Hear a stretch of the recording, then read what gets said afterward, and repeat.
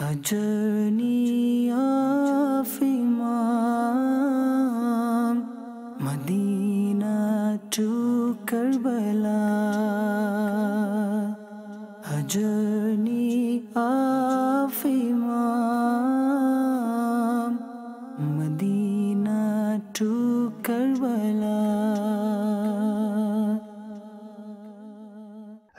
لله رب العالمين والصلاة والسلام على سيد المرسلين.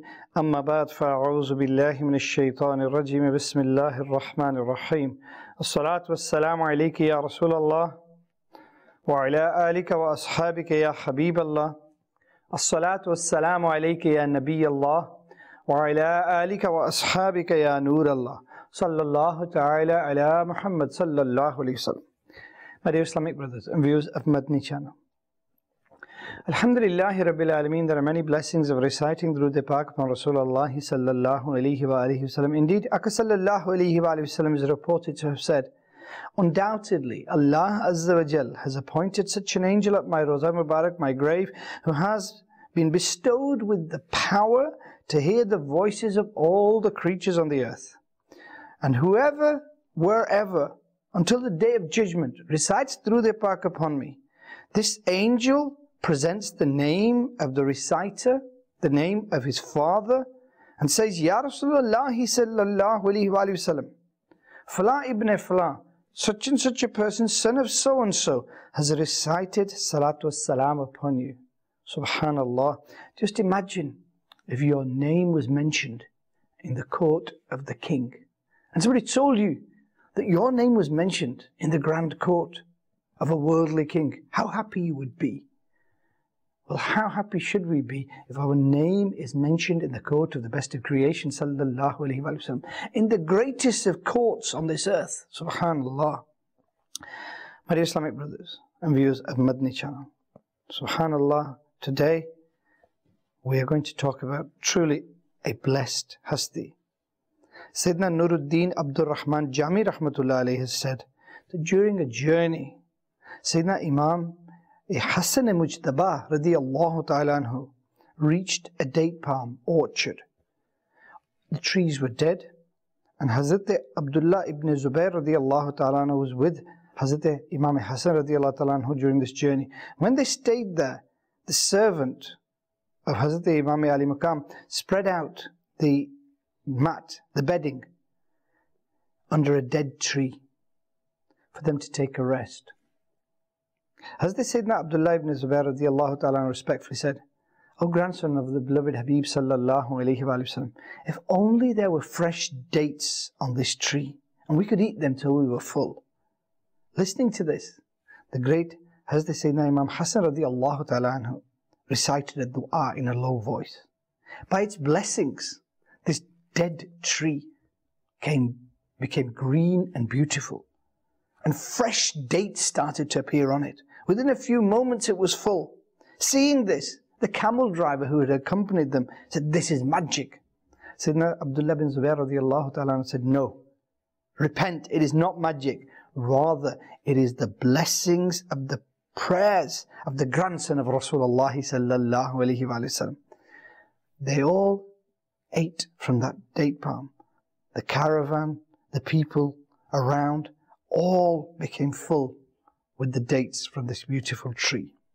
My dear Islamic brothers and viewers of Madani channel, this was the amazing dua of Hazrat Imam Hassan radiallahu ta'ala anhu, the grandson of Rasulullah sallallahu alayhi wa sallam. Hazrat Imam Hassan radiallahu ta'ala truly was an amazing hasti.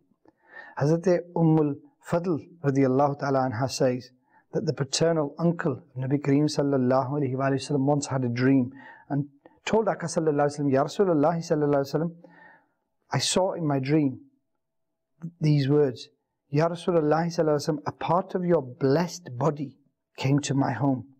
Listening to it, he sallallahu alayhi wa sallam said, you had a good dream.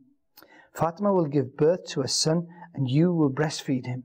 When Hazrat Sayyidina Fatima radiallahu ta'ala gave birth to Sayyidina Imam Hassan Mujtaba, so Sayyidina Umm al-Fadl radiallahu ta'ala was given the honor of feeding him. Subhanallah.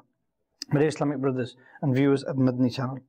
Sayyidina Imam Abu Muhammad Hassan al-Mujtaba radiallahu ta'ala was born on the 15th of Ramadan al-Mubarak in the third year after Hijri.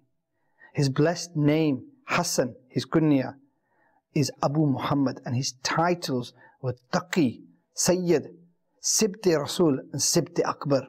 He was also known as the flower of Rasulullah sallallahu alayhi.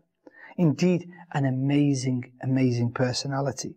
Sayyidina Anas bin Malik radiallahu ta'ala narrates that one of the beautiful things about Hazrat Hassan radiallahu ta'ala was that he looked like Rasulullah sallallahu alayhi. He resembled Akka sallallahu alayhi more than anybody else. And the Sahaba Ikram loved to look at him. Why? Because it reminded him of Rasulullah sallallahu alayhi. Like other companions, Sayyidina Abdullah ibn Zubair radiallahu ta'ala anhu had a deep affection towards the grandson of Nabi Kareem sallallahu alayhi. On one occasion he said, By Allah, no woman has given birth to any son like Hassan ibn Ali radiallahu ta'ala anhu. My dear Islamic brothers and viewers of Madani channel, Hazrat Hassan radiallahu ta'ala anhu was special. Not only was he special because he was the grandson of Rasulullah but also his level of piety and taqwa and his love for Nabi Kareem was amazing. But not only his love for the best of creation, but Nabi Kareem loved Hazrat Hassan radiallahu ta'ala very much. He sallallahu would come out of his home carrying Hazrat Hassan radiallahu ta'ala anhu in his blessed arms. Subhanallah. And sometimes Hazrat Hassan radiallahu ta'ala anhu would have the honor and the privilege of riding on the shoulders of Rasulullah sallallahu alayhi wa alihi wasallam. Subhanallah. Akka sallallahu alayhi wa sallam showered this prince with so much love and affection that it was amazing. Subhanallah. On one occasion, Somebody saw Nabi Kareem sallallahu alayhi wa sallam carrying Hazrat Hassan radiallahu ta'ala on the Mubarak shoulders. And he said, O son, you are riding something which is truly good. Referring to the fact that he was riding on the shoulders of the best of creation. And the best of creation sallallahu alayhi wa sallam said, the rider is also very good. Subhanallah. You know, the Akka sallallahu alayhi wa sallam is complimenting the rider on their shoulders. And that rider was Hazrat Hassan radiallahu ta'ala anhu. Sayyidina Abu Huraira radiallahu ta'ala says that whenever I saw Imam Hassan radiallahu ta'ala tears swelled up in my eyes. One day Nabi Kareem sallallahu alayhi wa sallam came, saw me in the masjid and held my hand. So I accompanied him. We did not talk until we reached a marketplace. We then returned and he sallallahu alayhi wa sallam said, Where is the little child? Bring him to me. Sayyidina Abu Hurairah says, I saw that Imam Hassan came and sat on the blessed lap of Rasulullah. The greatest and best Prophet sallallahu alayhi wa sallam inserted his tongue in Mubarak into the mouth of Hazrat Hassan radiallahu and said three times, O Allah Azza wa Jal, I love him, so you also love him as well as those ones who love him. Subhanallah. This is the love that Nabi Kareem sallallahu alayhi wa sallam had for Hazrat Hassan radiallahu ta'ala At the Abi saint, Sayyidina Abu Sa'id Muqburi rahmatullah alayhi stated, we were sitting with Sayyidina Abu Hurairah radiallahu ta'ala and Sayyidina Imam, Imam Hassan radiallahu ta'ala came in and said salam to us. We replied, but Hazrat Sayyidina Abu Hurairah was busy with something else and did not notice the salam so didn't reply. When we reminded him that Hazrat Hassan radiallahu ta'ala had given him salam, he immediately said, O Sayyidi, O my chief, may salam be upon you also. I have heard the blessed Habib sallallahu alayhi wa sallam say that Hassan is indeed Sayyid, i.e. the chief. Subhanallah. This was a beautiful flower, of the garden of Rasulullah sallallahu alayhi wa sallam. And it was respected by all the Sahaba Ikram. The blessed companion, the Allah Ta'ala said, we were offering the salah being led by Nabi Kareem sallallahu alayhi wa sallam. When Hazrat Hassan radiallahu ta'ala anhu, who was a young child at the time, came out. And he started to climb on the back of Rasulullah sallallahu alayhi wa sallam, then the blessed neck of Akka Kareem sallallahu alayhi wa sallam. And Akka sallallahu alayhi wa sallam would rise from sajda gently and would very gently lower him and affectionately. After the salah was completed, the blessed companions respectfully said, Ya Rasulullah sallallahu alayhi wa sallam, you treat this child in a way that you do not treat anyone else. So he, Aka sallallahu alayhi wa sallam in reply to this said that he is my flower in this world. Subhanallah. My dear Islamic brothers and viewers of Madani channel. Hazrat Imam Hassan radiallahu ta'ala was truly very blessed in that he was the grandson of Rasulullah sallallahu alayhi wa. But his own character and his own greatness and his own humbleness knew no bounds. He, after the leaders and after the leadership of Hazrat Ali radiallahu ta'ala his father, the lion of Allah, and after Hazrat Ali was martyred, he became the leader of the mu'mineen. He became the leader of the Muslims. And Sayyidina Imam Hassan radiallahu ta'ala assumed the caliphate. The people of Kufa pledged allegiance to him. Having stayed there for a period of time, he delegates his responsibilities of Khilafat to Sayyidina Amir Muawiyah ta'ala subject to certain conditions. Sayyidina Amir Muawiyah accepted the conditions and hence a reconciliation took place between the two groups of Muslims. But Aka sallallahu alayhi wa sallam had already predicted this and Aka sallallahu alayhi wa sallam had already said that this grandson of mine will achieve great reconciliation between two groups of Muslims.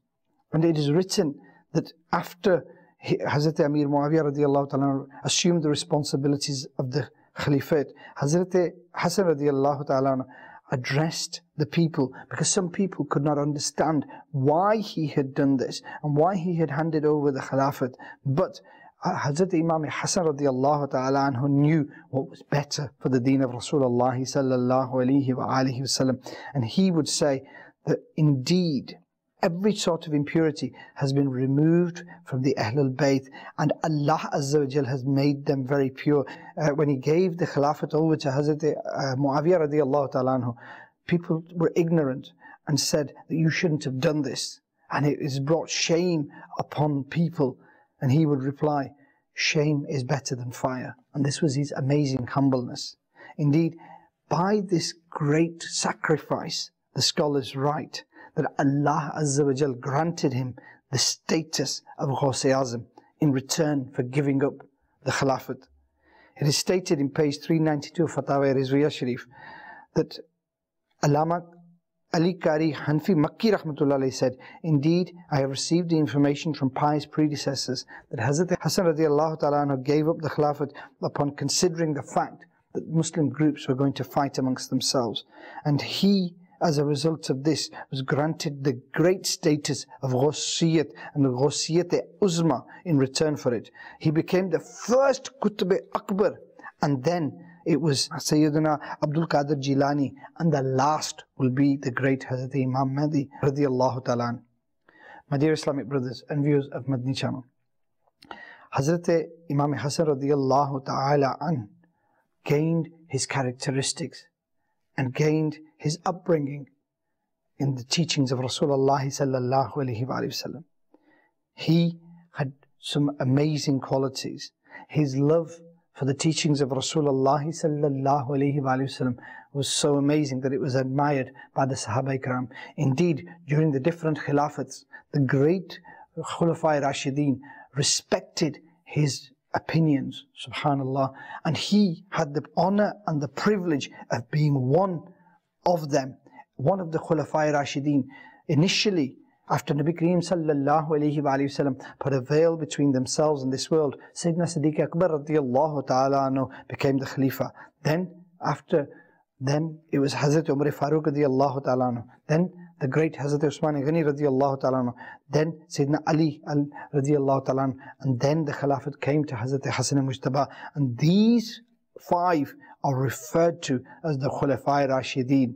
And this era is referred to as Khilafat Rashida. Sayyidina Bara bin Azib radiallahu ta'ala says that I saw Nabi Kareem sallallahu alayhi wa sallam carrying Hazrat Hassan radiallahu ta'ala on their shoulder and praying that Ya Allah, I love him. You also love him. Subhanallah.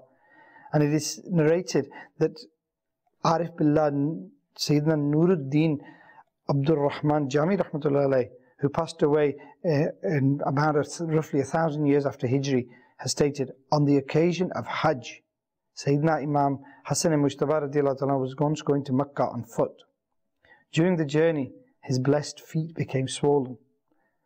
So his slave humbly suggested, Your Grace, take a ride so the swelling of the feet will reduce. Hazrat Imam Hassan did not accept it, but said, when we reach Mecca, when we reach the Haram Pak, you will find there a dark colored slave. He will have some oil. If you get the oil from him, then we will be able to massage the feet. Reaching the destination, he says that I found a dark skinned slave. Hazrat Imam Hassan radiallahu ta'ala asked me to approach him for the oil. When I went to him, he asked who the oil was for. I said it was for Hazrat Imam Hassan radiallahu ta'ala He said, the great Hassan Mujtaba radiallahu ta'ala I am his slave, take me to him. When he was brought to the court of Hazrat Imam Hassan radiallahu ta'ala he said, Oh Hazrat, my wife is suffering from labor pain. She is in difficulty. Please make dua. Hazrat Hassan radiallahu ta'ala made dua for him. Go home. Allah will bless you with a child and your wishes will come true. The dark-skinned slave says that I reached home and I found exactly what the Imam had predicted and Alhamdulillah everything passed safely. My dear Islamic brothers and viewers of Madani channel. Alhamdulillah Rabbil Alameen. We learn from the life of Hazrat Hassan radiallahu ta'ala anhu that the beautiful environment he was in with Rasulullah sallallahu alayhi wa wasallam and then the companions and then such a great mother and father that he had that his upbringing was amazing. But in the teachings, it is obvious that the environment played a great role in shaping this great character of Hazrat Hassan radiallahu ta'ala. Indeed, Nabi Kareem sallallahu alayhi wa alihi wasallam has said, give your offspring a good treatment and teach them good manners. Sayyidina Abdullah bin Umar radiallahu ta'ala said to a person, give a good upbringing to your children because you will be asked about children as to how you brought them up and what you taught them. Subhanallah. Hazrat Hassan radiallahu ta'ala's life is a role model for us. He was always perfectly respectful for all the Sahaba Ikram. Even though he had such a great status, subhanallah, he was humble and sincere in the court of Allah Azza wa Jal. He was, his humbleness and his sincerity was such that once somebody came to his court and asked for something but he asked in a special way. He wrote what he needed down and he sent the letter to Hazrat Hassan radiallahu ta'ala. Whilst in his court, Hazrat Hassan radiallahu ta'ala, without even reading the letter, immediately said, I accept what you want and you will get it. Those around him said, O great Shaykh Hassan Mujtaba radiallahu ta'ala, you should have at least read the letter so that you knew exactly what this person was demanding. And the reply that Hazrat Hassan radiallahu ta'ala gave, that while I would have read the letter, I could see that this person was uh, embarrassed. And by spending time reading the letter, I would have humiliated him more. And then I would have fulfilled his needs. And maybe on the day of judgment, I would be questioned about this. So immediately I knew that a needy person had come to me. So I agreed to fulfill his needs. Subhanallah. A beautiful narration. Hazrat Sayyidina Hassan radiallahu ta'ala together with Hazrat Imam Hussein radiallahu ta'ala and Sayyidina Abdullah bin Jafar radiallahu ta'ala were on the Hajj pilgrimage. The caravan that they were traveling with was behind and they were in front and they became hungry. So they went to the house of a lady and asked, do you have anything for us? She said, we've got nothing else. We've just got this goat, but if you milk it, the milk should be okay for you. So they milk the goat, she serves the milk, they drink the milk, and then they said, Do you have anything to eat? And the lady was so hospitable, she said, I don't have anything else, but I do have this goat. Why don't you slaughter it, and then we can cook it and you can eat it? So she offers it to them, and they do exactly that. When they finished, they said to her, We are Qureshi. We have come on a journey, and we will return. And if you ever come back to the way of Medina, please do come and see us. They depart from there. That day, her husband comes back and she narrates the whole incident. And he rebukes her, saying, You've given away our nanny goat, that's the only thing we had, and you sacrificed it for people that we didn't even know, no acquaintance, nothing. She stays quiet. Then some time goes on, and they come to Medina in search of work and food. They eventually turn to collecting camel dung and selling it and cleaning it for their living. While doing this one day, this woman passes by a house and stood in the door of the house is the great Sayyidina Imam Hassan radiallahu ta'ala. He sees her, and as soon as he sees her, he recognizes her, and he says, Do you recognize me? She says, No. He says, I am the one you fed that day. When we were on our journey for Hajj, you gave us milk and then you gave us the goat and we sacrificed it and we, we slaughtered it and then we ate. Subhanallah. He says, Today you are here. He gives her 1,000 nanny goats, 1,000 dinars, and says, Now go to my brother Hazrat Hussein radiallahu ta'ala. When she gets to the court of Hazrat Hussein radiallahu ta'ala, he says, What did my brother give you? She says, He gave me 1,000 goats and 1,000 dinars.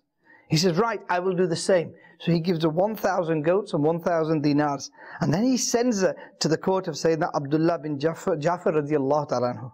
When she gets there, the great sheikh recognizes her, uh, honors her, and then says, What did they give you? She says, In total, they gave me 2,000 goats and they gave me 2,000 dinars. The great Hazrat Abdullah bin Jafar radiallahu ta'ala says, I will also give you 2,000 nanny goats and 2,000 dinars. She returns to her husband with 4,000 goats and 4,000 dinars. This was the woman who helped the grandsons of Rasulullah sallallahu alayhi wa sallam. And in this world, they returned the favor in such a way that she went back to her husband who must have been mesmerized by this great hospitality of the great Imams, subhanallah. Giving charity was a special quality of Hazrat Imam Ali Maqam radiallahu ta'ala. All his life, he spent his wealth and his possessions in the servitude of Allah Azza wa Jal, in the divine path.